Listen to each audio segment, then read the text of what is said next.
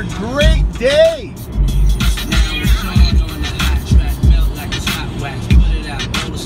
All right. This is the story of how I realized I am 100% American. I'm an American citizen. So I grew up here in Southern California, and during elementary, middle school, high school, college, kids would always ask, hey, what are you? Hey, what are you? And it was never enough for me to say, I'm American. They would always ask, well, where are your parents from? And I would have to finally say, well, they're from the Philippines. I'm American. My parents are from the Philippines. Um, and instead of going through that whole dance, I would just cut through the chase when people would ask me, hey, what are you? I would just go, hey, I'm, I'm Filipino. I understand. They want to know, when someone asks me, hey, what are you? They want to know where are my eyes from, right? Because my eyes share a similar slant to people from Japan, China, Korea, Vietnam, maybe Thailand, right? So people are asking, hey, what are you? So I would say Filipino. And that's how it was from elementary even to even to now, even even to now. All right. But I really realized that I am I am like American. I realized this when I was around 20.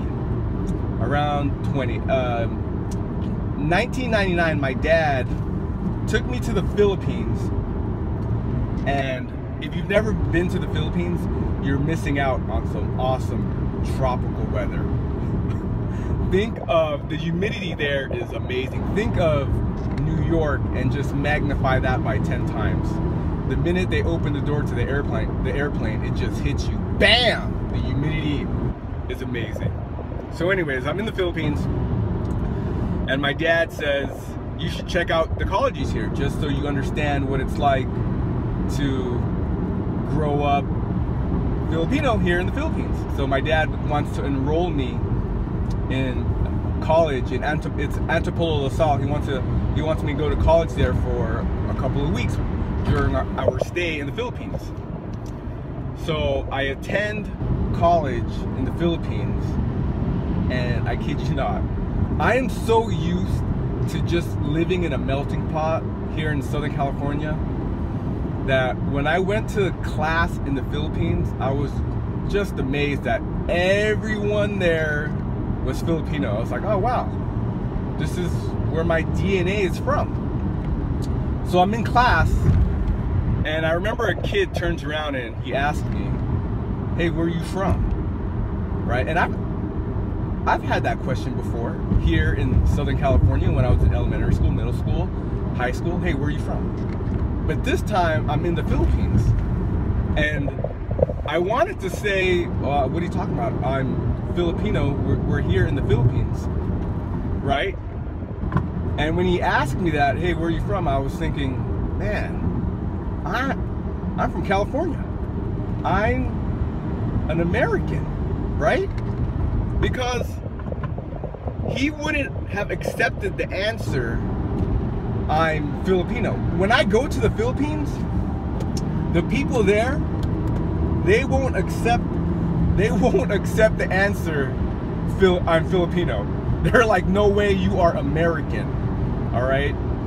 So, just traveling, traveling the world will really open up your eyes to the different cultures and for me, who I am. So when I was in the Philippines, when I was uh, around 19, 20, 19 or 20 years old, that's when I really took note to being American. Because the people over there, they didn't, they wouldn't accept the answer, I'm Filipino, right?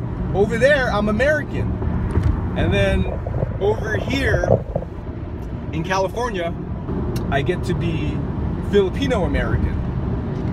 Um, but I guess the real time I really realized that I'm American is uh, when I did the Ironman in Hawaii and I was looking at the waves and somebody asked me, hey, why are the waves so high?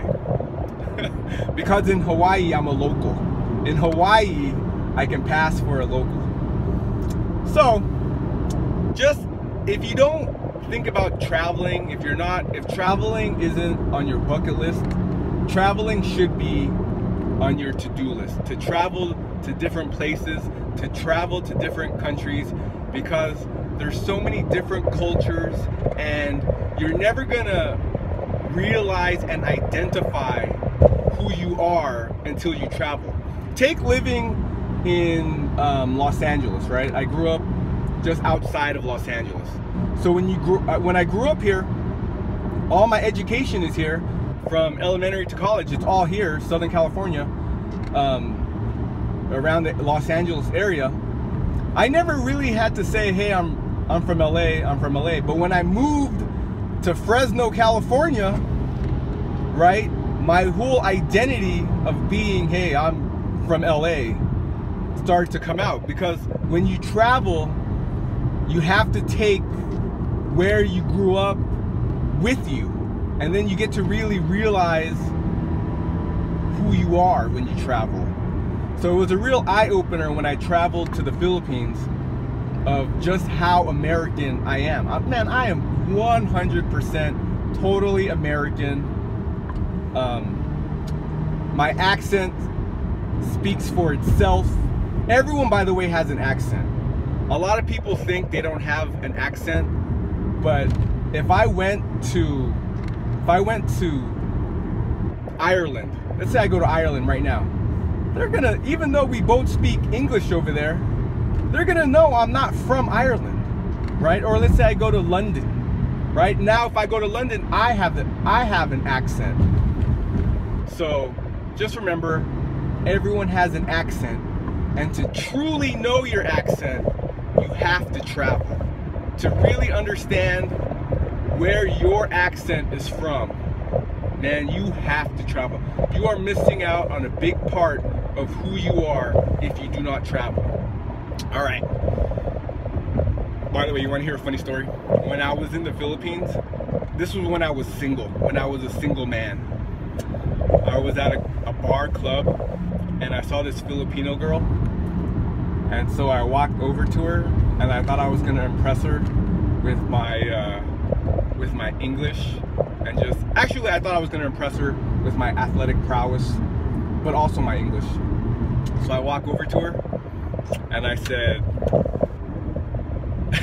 hey where are you from? What part are you from? But like what part of the what, what city are you from? And she said with like a heavy accent she said I'm from Maryland. And I thought, Maryland, USA? And she said, yeah. oh man. Anyways, if you made it this far into the video, 8 minutes and 40 seconds into the video, I want to talk about something that can actually change your life. This will actually affect your life. It's not just an Ernan story. Exercise makes everything better. Okay? After you run 10 miles and you take a shower, that's gonna that shower feels a lot better than if you just end the day without exercising and then you take a shower. The exercise makes the showering feel better. Same with food. If you go run for five, if you go run for five miles, if you run and you exercise and then you you eat an apple, that apple is going to taste a lot better compared to not exercising